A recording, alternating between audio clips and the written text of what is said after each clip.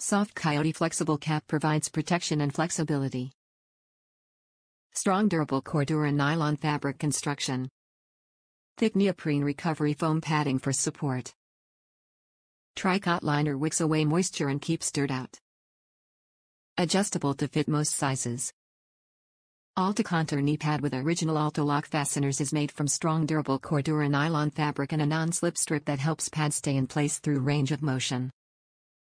Additionally this design helps reduce bunching behind the knees. Biomechanically designed, offers great knee motion and comfortable fit.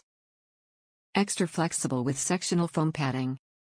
Soft Coyote Flexible Cap provides protection and flexibility. Compression Recovery Half Neoprene Foam Padding provides firm, consistent support without bottoming out. Finished brush tricot liner wicks away moisture and keeps out dirt and debris non-slip rubber strip on back and side to hold comfortably in place. Widely set dual strapping system to avoid bunching and provide extra comfort unique Alta strap keeper system to secure excess straps from flapping. Adjustable to fit most sizes. Top reviews from the United States. Great knee pads for airsoft. I purchased these to use while airsofting. So far I've used them for three full days of play and they're fantastic. They're very comfortable and I almost forget that I'm even wearing them.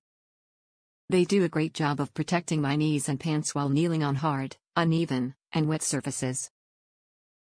They have never fallen or slid down my legs, not even once. The other reviewers who say they slide down must not have them tightened enough, although I've only worn them with pants, and not on my bare skin. I also think the complaints about the straps hooking into the same side on both pads are overblown. It doesn't affect the fit, comfort, or general usage of the knee pads. My knees are far enough apart that they do not collide with each other, and I assume that goes for most people as well. I can't speak to their durability from daily use, since I only use them for a few hours at a time on sporadic occasions.